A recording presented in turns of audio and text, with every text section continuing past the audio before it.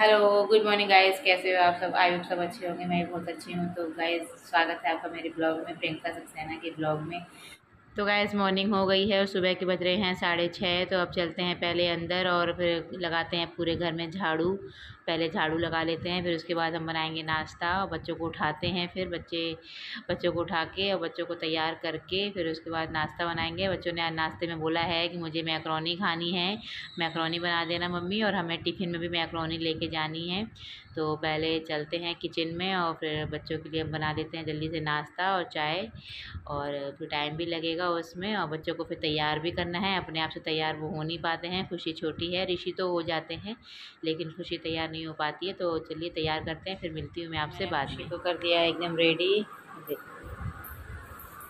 तैयार होके रेडी हैं। ये ऋषि भी हो गए हैं एकदम तैयार। ये देखिए ड्रेस व्रेस पहन के। और अब खुशी और ऋषि कर रहे हैं मैक्रोनी का नाश्ता। का मन था कि मम्मी आज मैक्रोनी बना दो। खुशी देखो। अच्छी है? और टिफ़िन में और रख देंगे, ठीक है? अच्छी है ऋषि? ये चाय तुम्हारी ठीक है। दोनों की चाय रखी है, पी लेना कर लो नाश्ता। और बच्चे हो गए हैं एकदम तैयार, स्कूल जाने के लिए बैग भी दोनों ने टांग लिया है और अब चलते हैं, दोनों को भेजते हैं स्कूल। पापा इनके बाइक निकाल लें चलते हैं।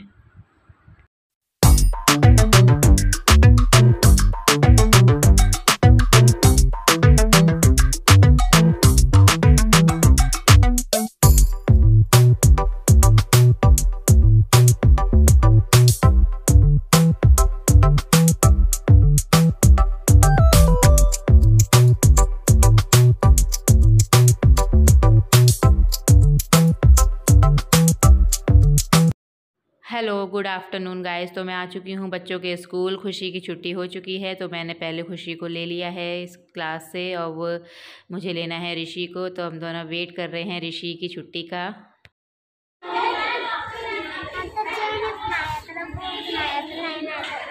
क्यों? ये भी तो नई नई है। देखो कितनी अच्छी लग रही है खुशी। कितनी क्यूट लग रही है छोटे पे।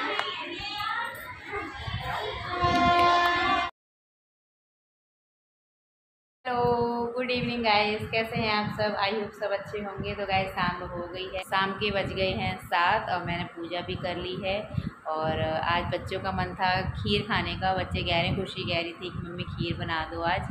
और, फिर मेरा भी मन था, इन्होंने भी बोला कि खीर बना बना लेना आज। और थोड़ा दूध एक्स्ट्रा ले लेना आज सुबह। तो फिर खीर बनाए तो आज मैंने दूध ज़्यादा ले लिया था। तो मैंने सोचा कि सुबह तो नहीं, बच्चे स्कूल जाते हैं। और फिर ये भी रोटी बनाएँगे तो कौन खाएगा तो इसलिए मैं शाम को बनाऊँगी। तो आज मैं बनाने जा रही हूँ खीर और खाने में बनाऊँगी तहरी। तो किस किस को खीर पसंद है? और मुझे तो खीर बहुत ही अच्छी लगती है, इन्हें भी अच्छी लगती है।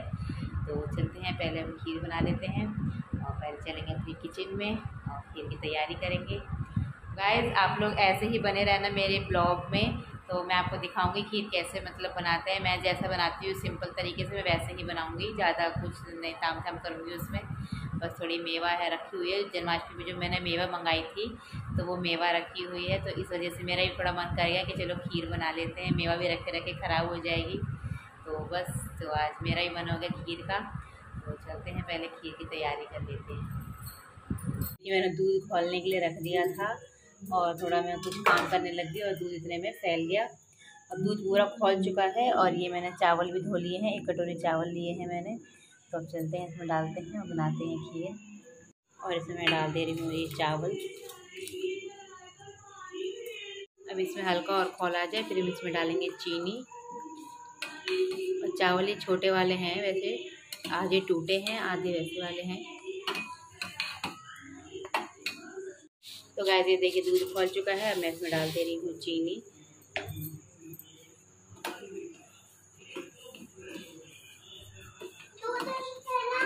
दूध फैल गया है, खीर बन के है एकदम रेडी कितनी थोड़े चावल डाल के एकदम फूल के कितने हो गए हैं? गाढ़ी गाढ़ी बनी है। और ये मेवा जन्माष्टमी में मैंने मंगवाई थी, अभी बची है। अभी इसमें सारी मेवा डाल दूँगी। थोड़ी और पका लेते हैं। किस किस की फेवरेट है? खीर आ जाइए, जिसको भी अच्छी लगती है खीर। तो ये मैंने बना ली है आप ही लोगों के लिए गर्मा गर्म इनका भी बहुत मन था खाने का कि आप कुछ मीठा बना दो तो मैं कहा खीर बना देते हैं। दूध भी रखा हुआ था, दो किलो दूध रखा था। भैया ने थोड़ा एक्स्ट्रा दे दिया था। ये देखिए गाइस खीर बन के हो चुकी है, एकदम रेडी अच्छी लग रही है ना? तो अब चलते हैं, कटोरी में सबको दे देते हैं और पूछते हैं कैसी बनी है, खा के बताइए, ठीक है? आप लोग भी आ जाइए, आप लोगों के लिए बनाई है मैंने। तो ये देखिए गाइस मैंने आप लोगों के लिए खीर लगा ली है गर्मा गर्म। आ जाइए गाइस खाने के लिए बहुत ही टेस्टी बनी है। चलते हैं देने के लिए। तो गाइज़ हो गया है खाने का टाइम आज मैंने खाने में बनाई है तहरी. आप लोग भी आ जाइए गाइज़ खाना खाने के लिए. और मैंने तहरी के साथ में बनाई है हरी धनिया की चटनी. तो किस किस लोगों को तहरी और चटनी पसंद है, आ जाइए गाइज़ आप लोग भी. मुझे तो बहुत अच्छी लगती है इन्हें भी. और ये ऋषि बैठे हैं खाना के लिए, खाना भी खा रहे हैं. और खुशी सो गई हैं हमारी खीर खा के और ये देखिए कार्टून चल रहा है, वो मैंने ऊपर लगवा दी है अपनी घड़ी इनसे. और अब गाइस खाना पीना सब खा चुके हैं टाइम भी हो गया है, दस बज गए हैं, अब चलते हैं सोने के लिए। तो गाइस टाइम हो गया है दस दस बज गए हैं, अब चलते हैं सोने के लिए टाइम बहुत हो गया है और बच्चे भी सो गए हैं क्योंकि कल उन्हें स्कूल भी जाना है। और ये भी सो गए हैं, कल इन्हें भी जल्दी ऑफ़िस जाना है तो इसलिए जल्दी मतलब सब सो गए हैं, बस मैं रह गई थी। मैं, मेरा थोड़ा काम रह गया था इस वजह से तो मैंने सारा काम करके बैठी हूँ अब मैं अब मैं भी जा रही हूँ सोने के लिए। तो वीडियो एडिट कर लेंगे थोड़ी सी, और मैंने थोड़ी सी पहले ही कर ली थी आधी।